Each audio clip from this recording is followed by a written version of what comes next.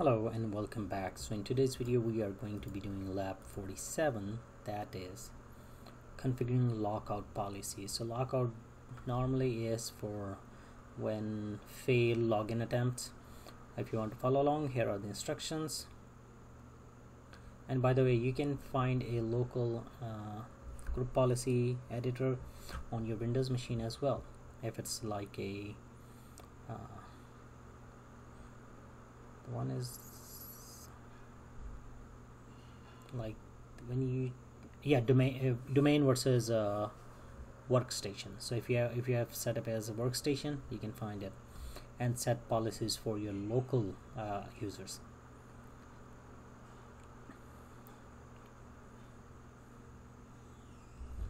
Oh it's pretty long list of steps all right so let's get started. We're gonna do this again server manager. Tools and group policy management pretty straightforward.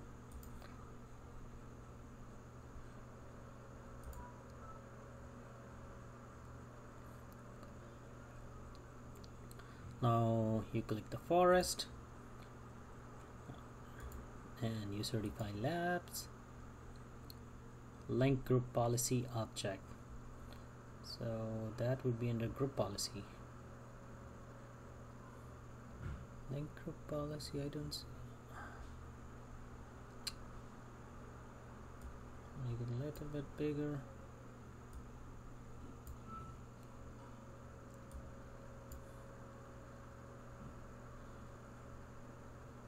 uh, it should be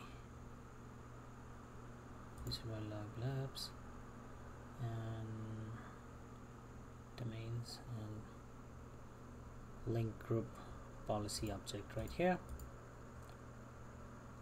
So this is if you remember in one video I talked that you can link them. So this is where from you link them. You can and within there there is a wizard as well that you can follow and create a policy as well default domain policy is this one. We're going to click edit it. Alternately you can double click it and it should open up the edit window. So add new lockout policy. So I remember there was like a bunch of policies like by default that are not enabled. You can simply in like add them or enable them. You're gonna select an item to view its description. So add new lockout policy is going to be from where? User configuration.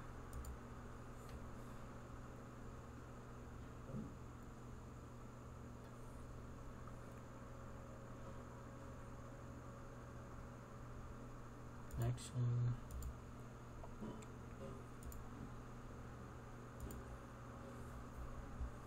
I think there are some steps missing.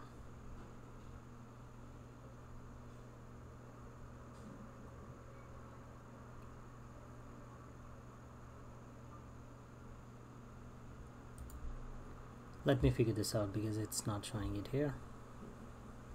I'm gonna pause the video here. Alright, so I think it's poorly worded. Up to here, it's just your uh, wild goose chase from here this is a is how you do it. So you have, don't have to do anything not this one. We go back to the group management policy compute computer configuration. Uh, oh maybe it's here. So it's in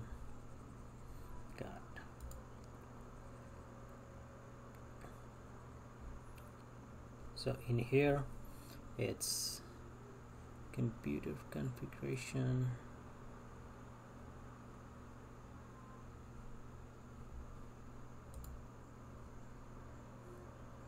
Computer configuration then policies and Windows.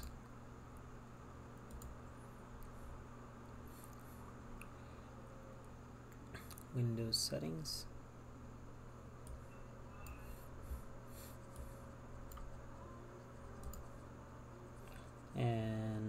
security setting account policies. Security setting account policies and this is account lockout policy. So if it's not defined what you can do is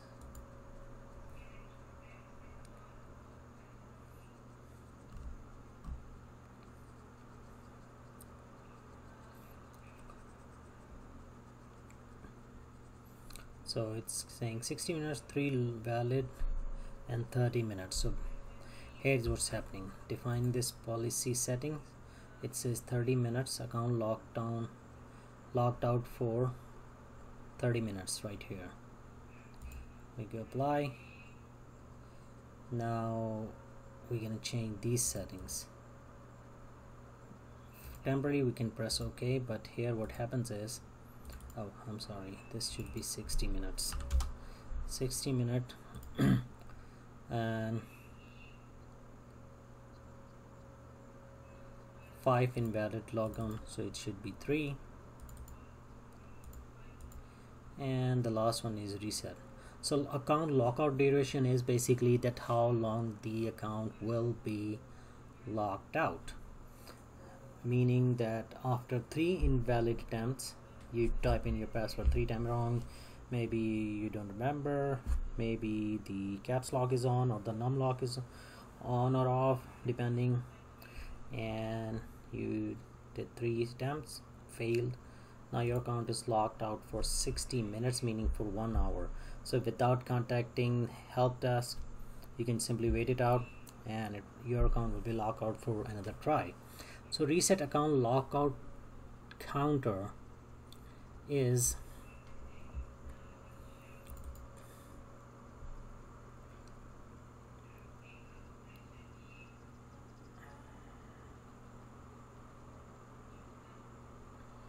after 30 minutes. So this is confusing because uh, normally what happened was that in like when we did that we will uh, advise the hey I have reset your password.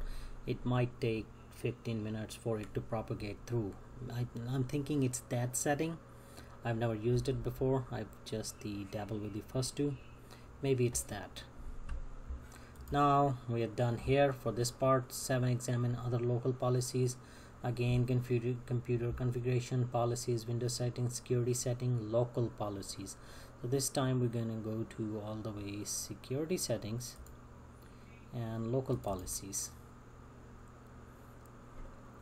User rights assignment. And this this time what we're going to ah this one. Uh, logging in remotely basically what happens is that you can allow or not allow uh, remote login login somewhere here. This is rem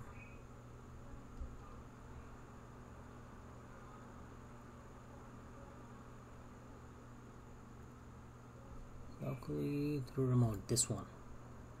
So we have a process where our laptops are different than the a, a an area that they have their own assigned laptops.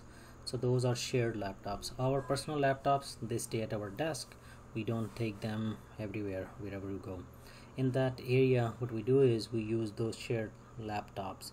Those are secured. So what we do is that from those shared laptops we remote desktop into our laptop that's on our desk and access everything whatever we need. So this saves us from uh, like keeping a shoulder bag or your laptop around all the buildings wherever we're going. We, we are free to move between buildings anywhere. As long as on our corporate network we can simply log in. But the thing is we cannot do the same from here or from our desk to that shared laptops that are in those areas. What and this needs to be disabled in those uh, laptops so we cannot do it. And RDP as well like another way of doing is that uh, disable the RDP and this one is also if you want if you do not want some users uh, to not be able to use RDP audit policy right here.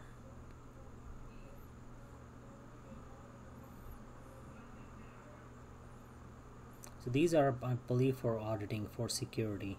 Like again log on events. And these attempts like in but normally you would want failures. Failures would show that for security purpose uh, it depends. If you are feeling that there is attacks on your network then you want to see failure. And if the failure count is really high then you know yeah there is there was or there is an active attack going on. Alright so I'm gonna wrap this video here. I hope this video has helped you. If it has please rate comment subscribe and share and I see you in the next one